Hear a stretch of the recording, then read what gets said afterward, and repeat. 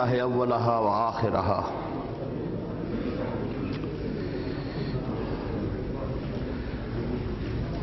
मैंने जो कुछ आपको अंदाज़ा दिया था कि अकायद के मामले में अक्ल और नकल की जो आवेजिश हुई,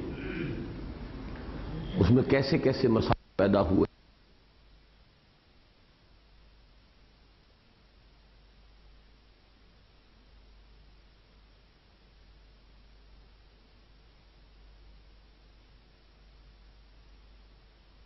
आया, अल्लाह, कोई महदूद हस्ती है, किसी खास जगह पर है, किसी खास मकाम पर है।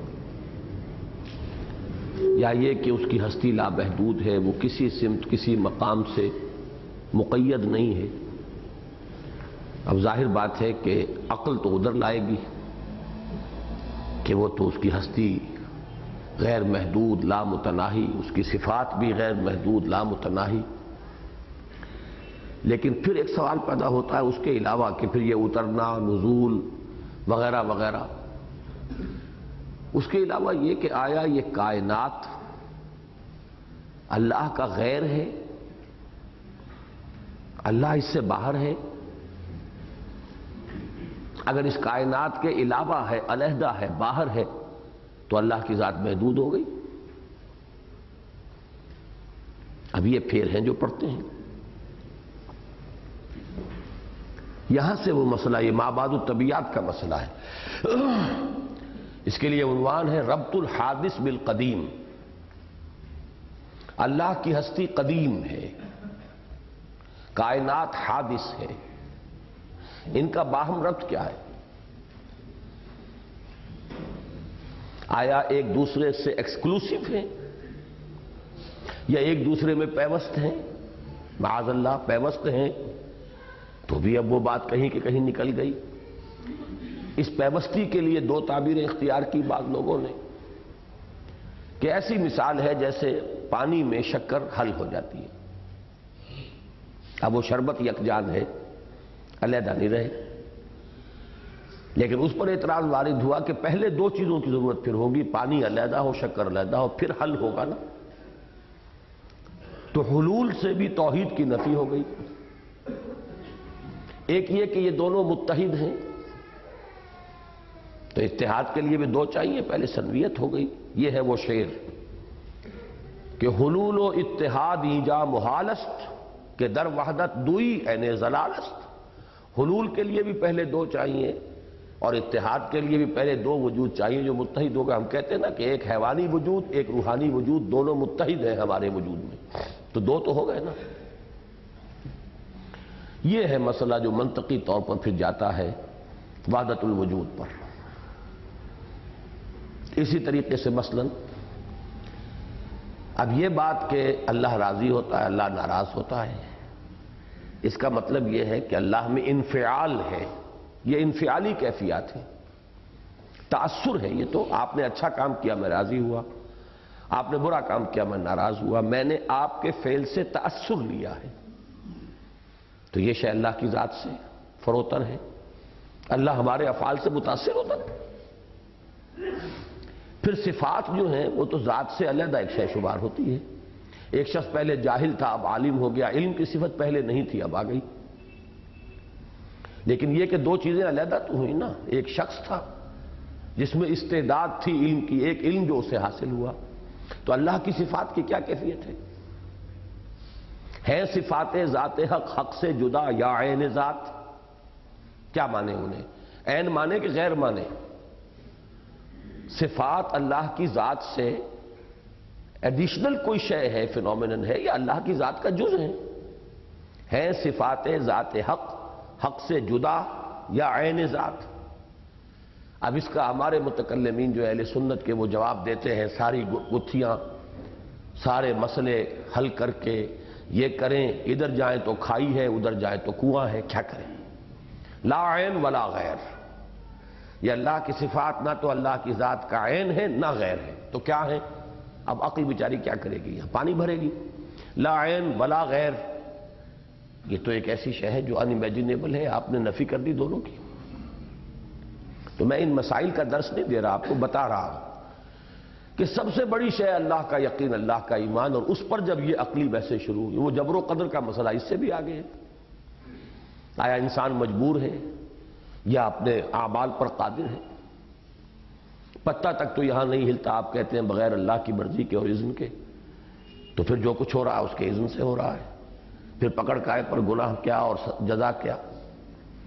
इधर जाइए तो मुसीबत, उधर जाइए तो मुसीबत। अब जबर कदर के दरमियान एतदाल की राह आसान नहीं है तलाश करना।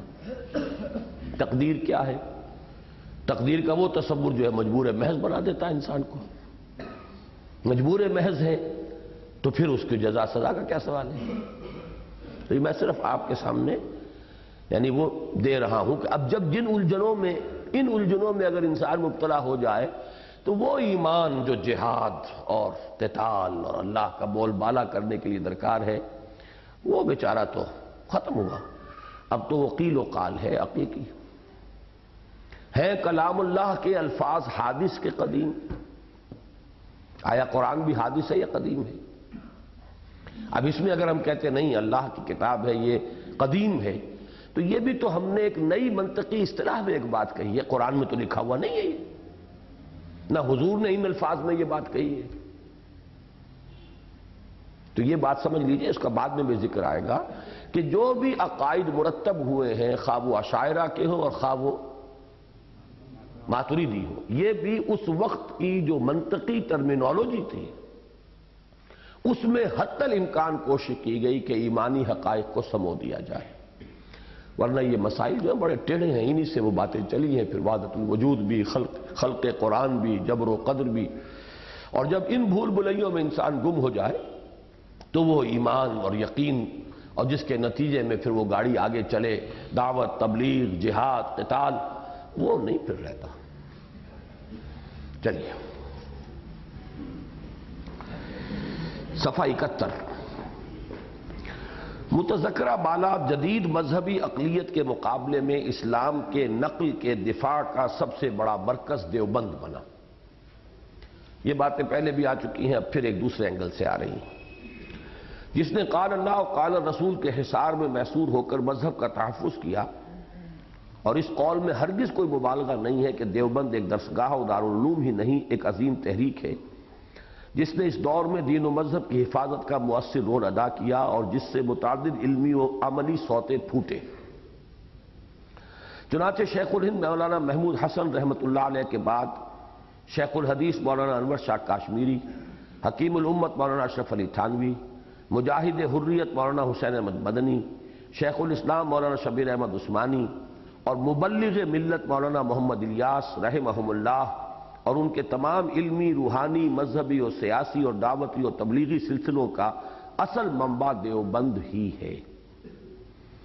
हती के ऊपर ही की मिसाल के मुताबिक हकीकत यह है कि बर सग़ीर की अक्सर दीनी दरसगाहों और दीनी और मजहबी तहरीकों का ताल्लुक भी देवबंद के साथ वही है, जो दुनिया भर की मसाजिद का खाना काबा के साथ और बर सग़ीर के मजहबी अनासर में से सिर्फ़ उनको छोड़कर, जिनकी मजहबियत बस उर्स मिलाद और फातह दरूद तक महदूद है। बकिया तमाम फ़ाल मजहबी अनासर तहरीक देवबंद ही की मुख्तलिफ़ शाखों से मुतल और मुंसलिक है। वैसे इसमें थोड़ी सी वजाहत मजीद कर दूँ मैं। उससे भी पहले ये दो हजरात ने मीर दर्द का एक शेर लिखकर यहाँ मेरी मेज पर रख दिया था। वो चाहते हैं कि मैं आपको सुना दूँ। वो जो मैंने आपको हदीस कुदसी सुनाई थी, जिसको मुहदसिन उसकी सनद जो है, उसको मोतबर करार नहीं देते, लेकिन मुफसरीन महक्कीन ने तस्लीम किया है कि अल्लाह ताला बंदा मोमिन के दिल में समा जाता है। वो उसका तर्जुमा जो है, शेर की हालत में ख्वाजा मीर दर्द चूँकि वो भी सूफी थे। अर्जो समा, कहाँ तेरी वसत को पा सके? मेरा ही दिल है वो कि जहाँ तू समा सके। ये उसी की तर्जुमानी है। मैं यहाँ यश करना चाह रहा था कि अहल हदीस तहरीक जो है, वो भी एक ज़माने में बहुत ज़ोरदार तहरीक की हैसियत से रद्द बितात मुशरकाना और हाम उनकी नफ़ी के लिए उठी थी। लेकिन बदकिस्मती से बहुत जल्द ये तहरीक सिर्फ़ चंद शायर के ऊपर अपने आप को महदूद करके और इंतहाई तंग नज़र फिरके की सूरत इख्तियार कर ली इस वक्त बदतरीन फिरका परस्ती जो है वो इस इस हल्के में। सारी बहस रफा यदैन से आमीन बिल जहर से अल्लाह अल्लाह खैर सल्लाह और दो चार ऐसे ही मसाइल हैं बाकी और चीज़ों के साथ कोई बहस नहीं कोई दिलचस्पी नहीं। वो तो उठे थे असल में बिदात का इब्ताल करने रसूमात की, की नफी करने मुशरकाना ओहाम का सद्देबाब करने। ये चंद मसाइल जो हैं मसलक के मसाइल हैं, अब सारा ज़ोर जो है इन्हीं के ऊपर सर्फ होता है। ले देकर। और ये जो है, इस वक्त मैं अपने दिली एहसास की तर्जुमानी कर रहा हूँ कि फिरका परस्ती जिसे कहते हैं, वो जो है बदतरीन कैफियत जो है, वो इस जमात के अंदर आ चुकी है। कहलाती जमात है, जमात नहीं है, फिरका, बहुत सख्त फिरका बन चुकी बाकी जो हनफी हैं इस मुल्क के अंदर, उनके बारे में भी एक गलती हुई है। देवबंदी तहरीक और देवबंद के सलासिल ये इतने जोरदार थे कि इन्होंने अपने उस जोम में हर गैर देवबंदी हनफी को बरेलवी करार दे दिया। ये बहुत बड़ी स्ट्रेटेजिक मिस्टेक हुई है। ये जो पुराने मराकज इल्मिया चले आ रहे थे, बरेलवियत तो अहमद रजा खां बरेलवी से शुरू हुई। मैं उनकी शख्सियत को यहाँ जेर बहस नहीं लाना चाहता उन्होंने भी कुछ काम शुरू किए थे, वो शीयत के रद्द के लिए किए थे। ये ताजिए में मुसलमान दिलचस्पी लेते हैं, खेल कूद है, तमाशे हैं, पटे हैं, ये है, वो है। तो इसके मुकाबले के लिए ईद मिलादुलनबी का जुलूस, वो एक और बिदत जो है, वो बिदत को तोड़ने के लिए वो उन्होंने शुरू कर दी। बहरहाल उनको छोड़ दीजिए। लेकिन बरेलवियत जिस शय का नाम है, उनसे पहले तो नहीं थी ना। उनसे पहले जितने इल्मी मराकज थे हिंदुस्तान में जिनमें मसल खैराबाद का सिलसिला है मकतब फ़िक्र है फरंगी महल का पुराना सिलसिला है कदीम तरीन मौलाना अब्दुल बारी फरंगी महली जो जमीयत हिंद के पहले सदर थे। हज़रत शेखुल हिंद चूँकि माल्टा में असीर थे तो वो उन, उनकी तो गैर हाजिरी में तासीस हुई जमीयत हिंद की। इसी तरीके से ये जो पाकिस्तान में मुख्तलिफ़ मराकज हैं अब ये गोलड़ा हो या सियाल हो या तौनसा हो या और जो भी जितनी भी गद्दियाँ हैं, इनका ताल्लुक जो है वो बरेलवियत, उस मानी में बरेलवियत नहीं है। शीख तसवुफ है उनके यहाँ, वो कदीम चला आ रहा है। वो तो मैंने बताया कि यहाँ पर इस्लाम जो आया, वो दो चीज़ों ही का तो मुरक्ब था, हनफी फ़िका और वजूदी तसवुफ लेकिन यह कि उन सबको ब्रेलवी कह देना, दर हकीकत ब्रेलवियत को तकवीत पहुंचाना है। सबको उठाकर हमने उनके उनके खाते में डाल दिया। तो उनकी अहमियत जो है वो बहुत ज़्यादा हो गई। तो ये दो चीज़ें हैं जिनकी वजाहत मैं करना चाहता हूँ। बाकी फाल जो रहा है सबसे ज़्यादा तबका, अब सूरत इस पर भी जवाल की आ चुकी, सौ सौ साल देवबंद के भी पूरे हो चुके हैं। अब वही तकलीद जामिद और वही जवाल के आसार, वही सिर्फ़ असलाफ तक अपनी निगाहों को महदूद रखना, अपने बुज़ुर्गों की बात करना, अव्वल आखिर। उस माहौल से, उस हल्के से बाहर बड़ी से बड़ी हस्ती को भी तस्लीम न करना, किसी भी खैर का वजूद न मानना, वो सारी चीज़ें यहाँ भी आ चुकी और ये है फितरत वो। जैसे हर फर्द के ऊपर जवानी के बाद बहरहाल बुढ़ापा आता तो हर तहरीक जो भी उठती है, जैसे कि मैंने कहा कि एक दौर में तहरीक अहल हदीस, देवबंद से ज़्यादा कदीम है वो तहरीक। शाह इस्माइल शहीद से उसको मंसूब किया जाता है। उन्होंने जो मनसब इमामत किताब लिखी, फिर उन्होंने सिरात मुस्तकीम किताब लिखी और तीसरी किताब उनकी जो मशहूर तरीन है तकरीतुल जो सबसे ज़्यादा काबिल एतराज़ समझते हैं ये दूसरे जो ग्रोह के लोग हैं तो ये किताबें उन्होंने लिखी। तो वहाँ से ये सिलसिला जो है चला है। तो अहले हदीस तहरीक एक बहुत ज़ोरदार, बहुत जानदार इसलाही तहरीक थी। मुशरकाना ओहाम की नफ़ी करने के लिए बिदात और रसूमात को ख़त्म करने के लिए लेकिन ये के होते होते, वो भी फिरका बन गई। चूँकि वो कदीम तर है, उसमें फिरका बंदी सख्तर आ गई। उसके बाद जो है वो ग्रोह, जो अहले हक का था, वो देवबंद के अकाबिर थे, लेकिन अब उनको भी सौ बरस से जायद हो चुके लिहाजा वहाँ पर भी वो जवाल उसी शिद्दत के साथ रूनुमा हो चुका है। अब गद्दियाँ हैं और गद्दियों पर साहिबजादगान जो हैं, वो उनकी जागीरें बनती हैं। अल्लाह अल्लाह खैर सल्ला। और जो लोग उसमें सियासी मिजाज के लोग हैं, वो अपनी उन गद्दियों को अपनी सियासत के लिए बेस बनाते हैं, उसी के हवाले से सियासत करते हैं। चलिए। तहरीक देवबंद की मुख्तलिफ़ शाखों के माबेन मजमू मिजाज और दायरा हाय कार का फ़र्क व इम्तियाज़ भी एक दिलचस्प इलमी मौजू है। इसका बरह रास्त ताल्लुक नहीं है हमारी बहस से, लेकिन अच्छा एक इंसाइट आपको मिलती है कि जो इतने शाखें तहरीक देवबंद की जो निकली हैं तो इनमें मिजाजों का फ़र्क क्या है? इसमें असल अवामी अंसर जो मज़हब और सियासत दोनों का मजहर या बालफाज दीगर मजहबी सियासत का सबसे बड़ा आलम बरदार है, जहनन व कलबन हुसैनी है। याना, यानी मौलाना हुसैन अहमद मदनी रहमत अलैह से जहनी ताल्लुक और कलबी इरादत व अकीदत रखता है।